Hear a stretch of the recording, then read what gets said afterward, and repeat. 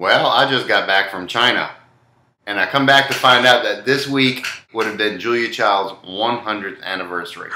My idol. Do I do Chinese food or do I do Julia Child food? So I put it into Google, Julia Child Chinese food, and I'm gonna cook the first recipe that popped up. Stir fried shrimp. Not very Julia Child, but we'll honor her.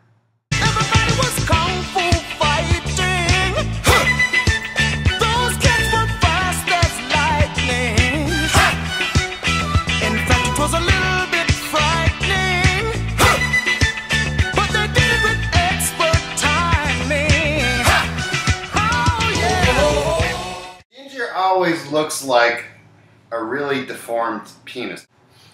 Hello and welcome to Cooking Under the Influence. I know it's been a long time, sorry about that. I am your host and chef du jour, I'm Sean. I was in China for three weeks. I was out of the country for a month altogether, so no cooking under the influences.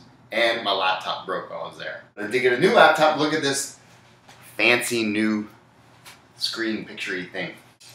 That should kind of look green. Why does it look green? Okay, in the old computer, everything looked red and orange. Now everything looks green. Is it my shirt? The actual first Julia Child recipe that popped up on my Google search was beef bourguignon. But I did beef bourguignon when I filmed my pilot episode for TV, which never got shown. Here's a clip. Or as Julia Child would say, my idol, Biff Bourguignon! Meanwhile, I'm empty. Wine, huh? Okay. Hello. We can take care of that. Thank you, Jane. Helio thing, which has kind of gotten burned. All right, we'll stir it up. Nobody will know. So instead of doing beef bourguignon, because I've already done it, we're gonna do a little Chinese themed thing. Stir fried, sweet and sour shrimp. How awesome does that sound? Yay. But as all good chefs know, before we start cooking, we need a drink. A good old vodka and soda. I tried some of the booze in China. Chinese booze, whatever it's called, tastes like a cross between raspberry and drain cleaner. So not real thrilled with that. But now that we're back in America and vodka and bourbon and whiskey and all the like is so plentiful, God, you know China's all about damn rights. China has some kick-ass veggies. These are not Chinese. These are grocery store veggies. We got red and yellow peppers and an onion. You've heard of onions. All right, cut it up into sliverinis. See this? This right here is the problem I have with growing root vegetables. Sucks. These are green onions.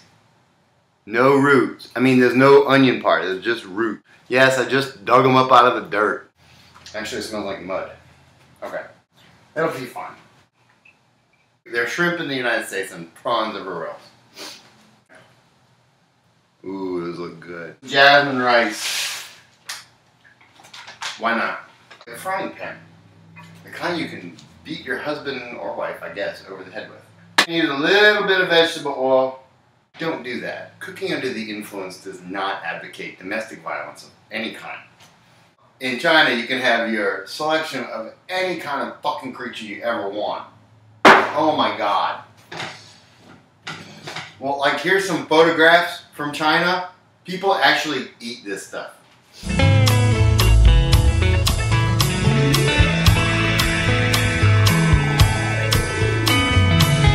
China, the Chinese chicken. You have a drumstick and your brain stops sticking. Some things in China are just fucked up. Stir fry means high heat, so this is heated up nicely, I think. Fascinating place. I just don't understand how China can have like a space station, but they can't build a proper toilet. Really? Some nice pink shrimp. I put them on the side for now. Oh shit, I put the cooked shrimp in the raw shrimp bowl. Oh well.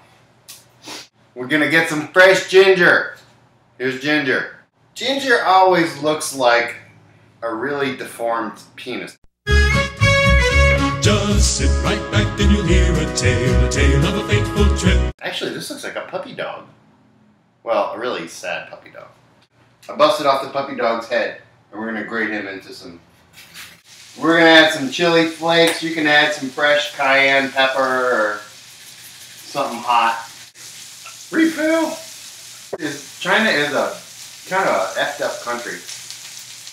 We found a Starbucks, and they were all just so meticulous about when we got stuff to go, how they put it in the bag. It has to go just this way.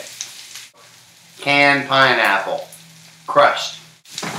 But then you go in a taxi, and driving is like, okay, whoever hunts the loudest, I'm going over here. Oh my God, you- you'll have a heart attack. Add a couple of tablespoons of that, and the juice.